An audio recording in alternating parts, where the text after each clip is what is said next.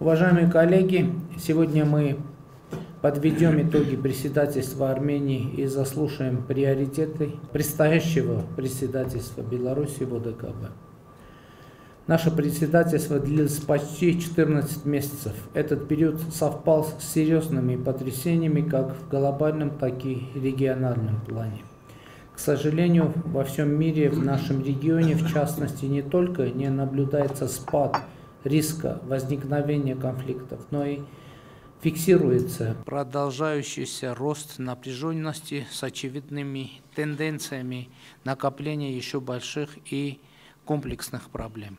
Как вам известно, с 13 по 14 сентября текущего года Республика Армения столкнулась с неоправданной и неспровоцированной азербайджанской агрессией, которая привела не только к оккупации определенных суверенных территорий Армении, но и к потерям среди военных, а также гражданского населения, значительным разрушением гражданских инфраструктур. Очередная азербайджанская агрессия и в частности тот факт, что до сих пор нам не удалось прийти к решению по поводу реакции ОДКБ на упомянутую агрессию, поднимает фундаментальные вопросы, которые чрезвычайно важны и для ОДКБ, и для восприятия организации в армянском обществе. Для нас принципиальную важность имеет подтверждение зоны ответственности ОДКБ в Республике Армения. Само существование такой формулировки может показаться странным, но изучая контекст наших последних обсуждений, мы пришли к выводу, что это имеет крайне важное значение. Наша позиция состоит в следующем. Согласно Алматинской декларации от 21 декабря 1991 года, страны-основатели СНГ как независимое государство признали территориальную целостность друг друга и нерушимость существующих границ – это означает, что вышеупомянутые страны стали независимыми с административными границами, существовавшими между республиками во время Советского Союза. То есть бывшие административные границы стали государственными, и этими границами определились территории вышеупомянутых стран. Именно в этих границах Республика Армения стала членом ООН и ОДКБ. Начиная с 11 мая 2021 года Азербайджан трижды применил вооруженные силы и оккупировал примерно 140 квадратных километров суверенной территории Республики Армения. Это случилось 11 мая и 14 ноября 2021 года и 13 сентября 2022 года. Так вот, согласно резолюции ООН от 14 декабря 1974 года под номером 3314, вышеуказанные действия Азербайджана расцениваются как агрессия. Что мы ожидаем от ОТГБ по этому поводу? Это констатация данного факта в форме четко сформулированной политической оценки – Воздержаться от такой оценки, говоря, что между Арменией и Азербайджаном нет границы, значит утверждать, что зоны ответственности Организации договора о коллективной безопасности не существует. А если нет зоны ответственности, то нет самой организации. Можно, по крайней мере, так интерпретировать. Эти нюансы важны еще и потому, что играют определяющую роль в дальнейших коллективных действиях.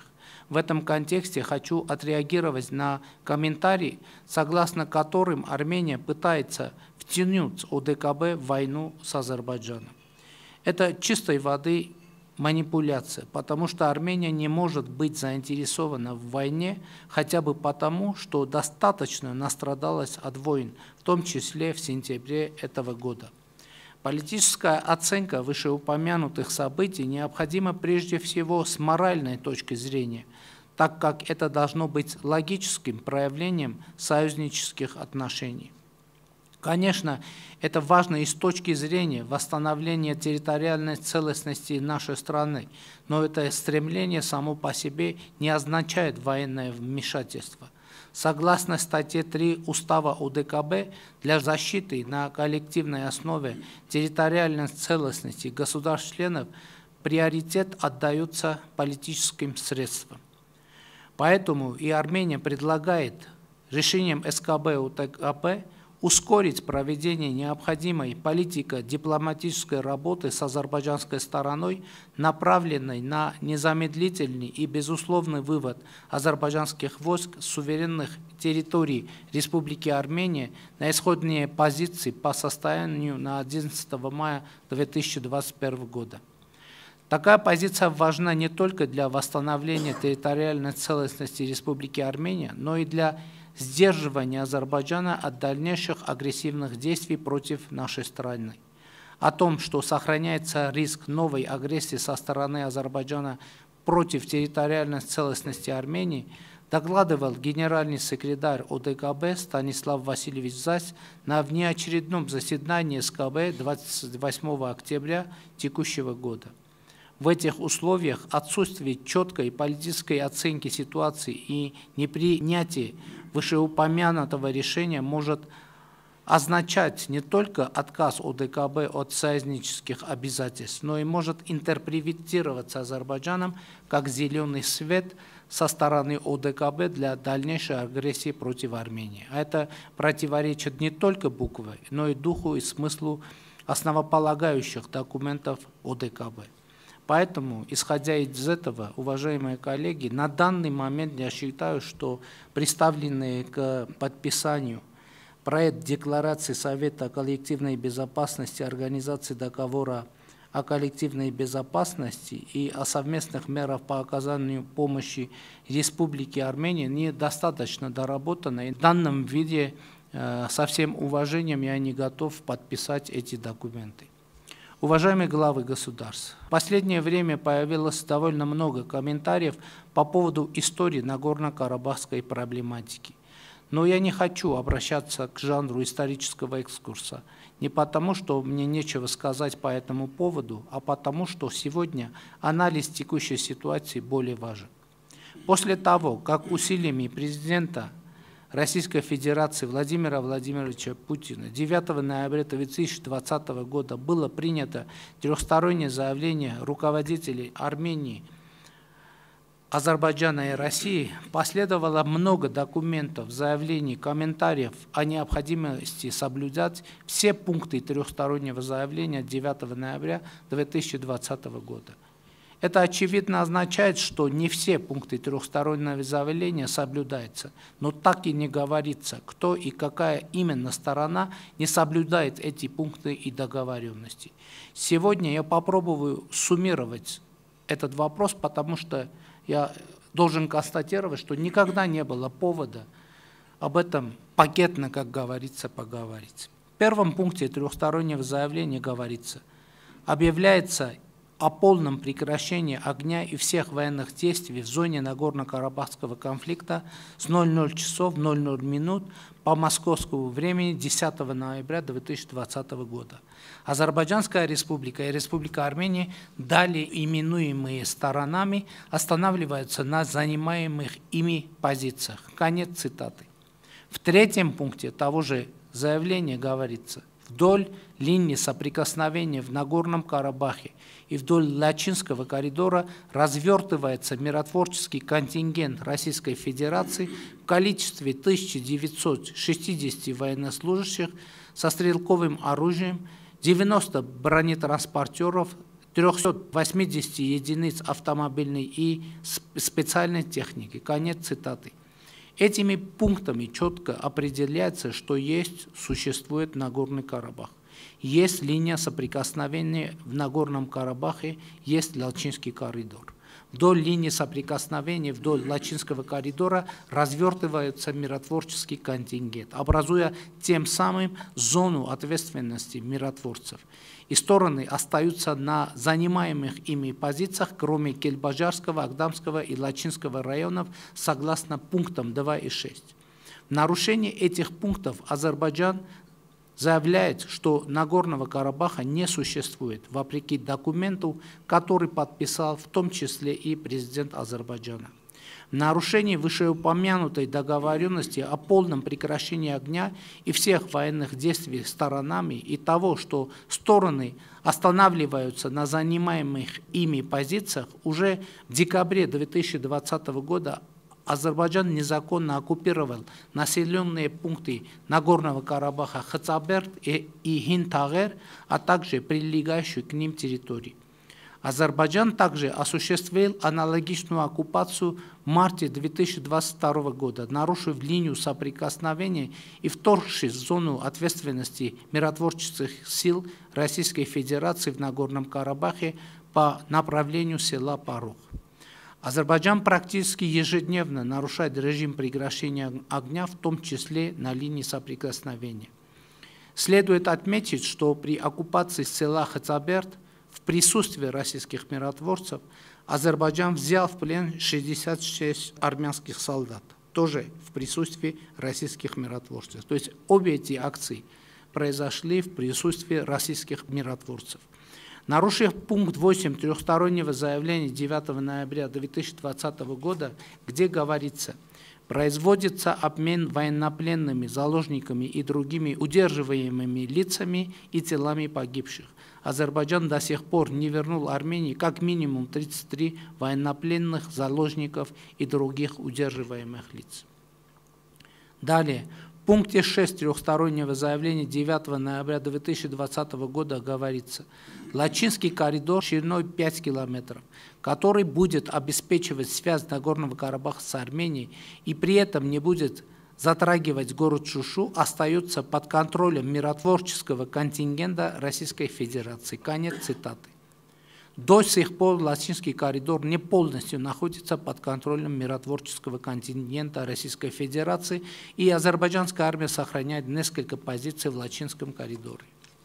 В пункте 7 трехстороннего заявления 9 ноября 2020 года говорится, внутренние перемещенные лица и беженцы возвращаются на территорию Нагорного Карабаха и прилегающие районы под контролем Управления Верховного комиссара ООН по делам беженцев. В нарушение этого пункта Азербайджан препятствует въезду в Нагорный Карабах представителей Организации Объединенных Наций, в частности Управления Верховного комиссара ООН по делам беженцев. В пункте 9 трехстороннего заявления 9 ноября 2020 года говорится, разблокируются все экономические и транспортные связи в регионе – Республика Армения гарантирует безопасность транспортного сообщения между западными районами Азербайджанской Республики и Нахичеванской автономной республикой с целью организации беспрепятственного движения транспортных средств и грузов в обоих направлениях. Контроль за транспортным сообщением осуществляют органы пограничной службы ФСБ России. По согласованию сторон будет обеспечено строительство новых транспортных коммуникаций, связывающих Нахичеванскую автономную республику с западными районами Азербайджана. Конец цитаты. Президент Азербайджана постоянно твердит, что по территории Армении должен задействоваться какой-то коридор и обвиняет Армению в невыполнении вышеуказанного пункта. Я специально процитировал девятый пункт трехстороннего заявления, чтобы показать очевидного. Там нет слова «коридор», ничего не сказано про коридор. Этот пункт, как вы убедились, про разблокировку всех экономических и транспортных связей в регионе. И только в этом контексте упоминается транспортное сообщение между западными районами Азербайджана и Нахичеванской автономной республикой. И это сообщение является, соответственно, частью процесса разблокирования транспортных и экономических коммуникаций в регионе. Это также видно из трехстороннего заявления от 11 января 2021 года, которое является разъяснением 9 пункта трехстороннего заявления 9 ноября 2020 года, является документом, поясняющим значение этого пункта. Соответственно, нужно констатировать, что обвинение в адрес Армении относительно нарушения 9 пункта заявления 9 ноября 2020 года совершенно беспочвенны. По этому пункту у Армении есть только одно обязательство – обеспечить транспортное сообщение между западными районами Азербайджана и Нахичеванской автономной республикой. При этом заявление 9 ноября или каком-либо ином заявлении не упоминается никакой конкретный маршрут. Республика Армения всегда была готова и сейчас готова обеспечить такое сообщение. И с этой целью в обращении введен проект решения правительства Республики Армения о создании контрольно-пропускных пунктов на армяно-азербайджанской границе, и в результате принятия этого решения Азербайджан может получить сообщение с Нахичеванской автономной республикой по дорогам Армении. Это решение не принимается только по одной причине. Азербайджан не хочет этой дороги. Это означает, что Армения полностью выполняет свое обязательство, а Азербайджан не хочет воспользоваться представленной возможностью. При этом такой отказ абсолютно непонятен. Если Азербайджан действительно хочет мира и нацелен на мир, как сам заявляет, то давайте откроем эти контрольно-пропускные пункты, эти дороги, давайте создадим возможности для людей – Понятно, что сначала они будут колебаться, но когда они убедятся в искренности намерений, то и граждане Армении, и граждане Азербайджанской э, республики однозначно начнут пользоваться этой новой возможностью передвижения. Я уверен, что другие граждане России, других наших стран тоже. Что касается строительства новых дорог, то согласно трехстороннему заявлению от 9 ноября до 2020 года или Э, какому-либо другому заявлению или документе у Республики Армении нет подобных обязательств. В девятом пункте заявления предусматривается такая возможность в случае согласования сторон. И Республика Армения готова дать свое согласие. А согласование не состоялось только по одной причине. Азербайджан продолжает агрессивную риторику и действия вопреки достигнутым договоренностям и подписанным заявлениям. Проконкретизирую, это риторика про коридор. Вы знаете об этом. И, к сожалению, некоторые наши коллеги тоже как-то поддаются или заблуждению, или провокации, и иногда соглашаются на принятие документов, где используется вот такой вордик. Еще один нюанс в девятом пункте говорится, что контроль за транспортным сообщением между западными районами Азербайджана и Нахичеванской автономной республики осуществляют органы пограничной безопасности ФСБ России. Этот вопрос дополнительно разъяснен в указе президента Российской Федерации номер 695 от 9 ноября 2020 года о мерах по поддержанию мира в Нагорном Карабахе. В третьем пункте которого говорится, цитирую, Федеральной службы безопасности Российской Федерации осуществлять контроль за обеспечением Республикой Армения транспортного сообщения между западными районами Азербайджанской Республики и Нахчеванской автономной республики для беспрепятственного движения граждан транспортных средств и грузов в обоих направлениях. То есть контроль над нашей суверенной территорией и отчуждение каких-либо наших суверенных функций речи нет и быть не может. Речь о контроле за выполнением договоренностей. При этом под договоренностями нужно понимать заявление, потому что, естественно, никаких других договоренностей быть не может. И только эту функцию может выполнять пограничная служба ФСП Российской Федерации и Э, я так понял, что мы об этом э, по дороге поговорили и поняли, что у нас по этому поводу общий подход. Президент Азербайджана обвиняет Армению еще и в том, что наша армия находится в Нагорном Карабахе. Хочу еще раз подчеркнуть, в Нагорном Карабахе нет армии Армении, есть армия обороны Нагорного Карабаха. Мое восприятие заключается в том, и это факт, что армян Нагорного Карабаха есть армия только и только из-за опасности подвергнуться геноциду. При этом 31 октября в ходе трехсторонней встречи в Сочи я представил предложение властей Нагорного Карабаха по этой теме. Создать демилитаризованную зону вокруг Нагорного Карабаха с международными гарантиями, в результате чего Нагорный Карабах может и не будет нуждаться в армии обороны такого масштаба. Это предложение, я как понимаю, остается в силе. Уважаемые главы государств, это лишь малая часть накопившихся тематики, которые я хотел с вами поделиться. Но не хочу злоупотреблять временем и на данный момент хочу поблагодарить вас за внимание. Спасибо большое.